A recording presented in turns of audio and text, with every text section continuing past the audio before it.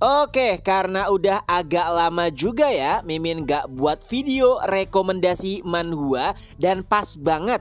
Beberapa hari yang lalu ada manhua yang baru aja rilis dan boom! Ceritanya keren, artnya oke. Pokoknya kalian wajib baca dan ini dia regressing bla bla bla.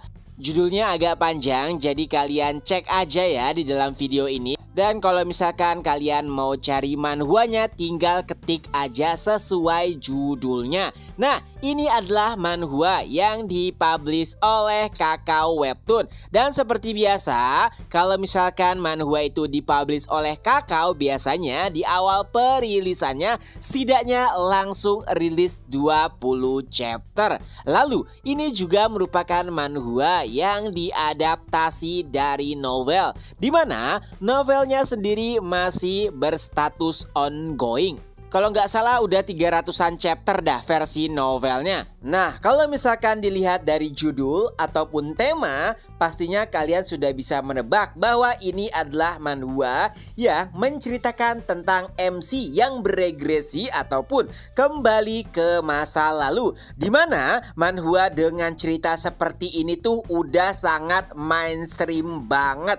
Kayaknya mungkin udah di atas 20 atau 50-an manhwa yang bercerita tentang regresi. Tapi walau begitu, kalau memang ceritanya bagus ya bagus aja. Apalagi yang Mimin suka dari manhwa ini adalah karakter dari MC-nya Pokoknya keren dan gak ada obat lah. Pastinya kalian akan setuju setelah membaca manhwa ini kalau misalkan MC-nya keren parah. Bagi yang penasaran cus langsung aja merapat ke website kesayangan para reader sekalian. Dan Mimin tambah ini dua manhua lagi yang layak juga untuk dinikmati. Tapi sayangnya karena manhua ini dipublish oleh Nalver ya awal perilisannya nggak bisa banyak-banyak banget chapternya. Jadi pas dibaca kayak rada nanggung gitu. Tapi ya coba baca dulu aja. Siapa tahu cocok atau bisa disimpan dulu nanti baru mulai dibaca pas chapternya rada banyakan.